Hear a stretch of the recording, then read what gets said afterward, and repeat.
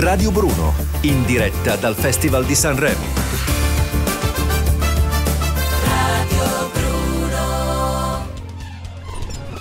Amici di Radio Bruno, siamo pronti a conoscere un giovane che arriva da area a Sanremo, Matteo Faustini, giovane davvero, cioè la carta d'identità parla chiaro, 25, giusto? 25, esatto. Ciao a tutti, grazie mille. Allora, partiamo da una curiosità perché a me ha colpito particolarmente. Tu hai già un mestiere molto definito che è quello di maestro.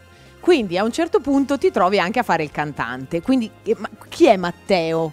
Guarda, in modo proprio super sincero, Matteo è un cantautore, è un ragazzo, è un essere umano che ha trovato nella musica il veicolo per star meglio. Io ho cominciato a fare il maestro perché ho bisogno di uno stipendio e lo stipendio lo utilizzavo tutto per autoprodurmi e finanziarmi i video e la musica. Quindi è sempre stato un piano B di un piano A che è qui adesso. E quindi riesci, però come è andata? Sei arrivato a scuola, quando è arrivata la chiamata, quindi ti hanno detto Sanremo, ok, e cosa hai detto ai tuoi ragazzi, ai tuoi alunni? Beh, guarda, eh, loro sono. Ho gli ho detto. Beh, loro lo sapevano che. Perché ho fatto Area Sanremo. Area Sanremo è un percorso di, lunghissimo di due o tre mesi. E quindi li stavo avvertendo che ci sarebbe potuta essere questa opportunità e possibilità.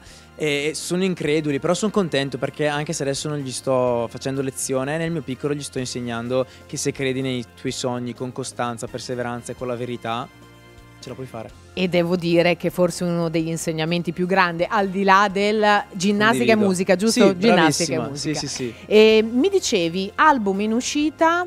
Eh, tutto sulle favole? Sì, si chiama Figli delle favole. Io mi reputo un figlio delle favole. E amo utilizzare come metafore eh, le metafore Disney delle fiabe per comunicare dei messaggi e dei valori nei quali credo tantissimo. Infatti nel disco si parlerà di diverse tematiche che mi stanno a cuore, dal bullismo al razzismo, nella canzone che si chiama Il Gobbo, a Un inno alla vita che è un po' bella e un po' bestia.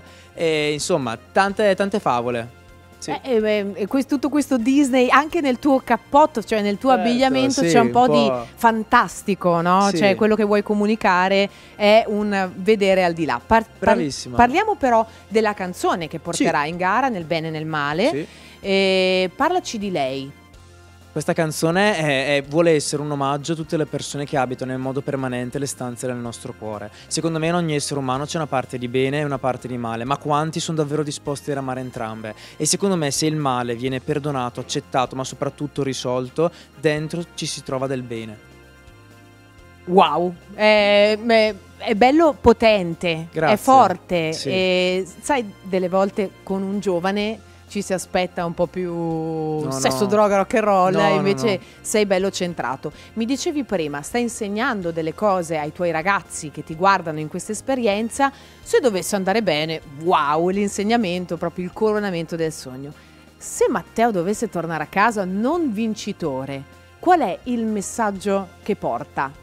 Guarda, io non so come andrà indipendentemente dalla classifica numerica, ho già vinto, cioè sono, sono, qui a Sanremo. Io quello che spero tantissimo è che il disco possa essere ascoltato perché amo il concetto di poter fare del bene attraverso delle note, delle parole. Quindi poi ci sarà comunque un po' di promozione. Se dovessi tornare a casa e non dovessi nel momento vivere di musica, caspita, ripeto, ho insegnato ai, ai miei bimbi, a quei patatoni, gli ho insegnato che che veramente se scegli il bene ogni giorno e se non tanto fare una cosa che ti esce bene, ma una cosa della quale che hai bisogno di fare. Se tu segui una cosa che hai bisogno di fare, allora funziona. Quindi la competizione non la senti? La competizione, oddio, uno contro uno ci sarà, però no, cioè ovvio che c'è, ovvio che spero di andare avanti, ma però sono tutti validi, abbiamo tutti dei progetti poi si vedrà dopo Sanremo. Va bene, e in bocca al lupo Grazie. per il tuo percorso. Matteo, ultima cosa, così sì. concludiamo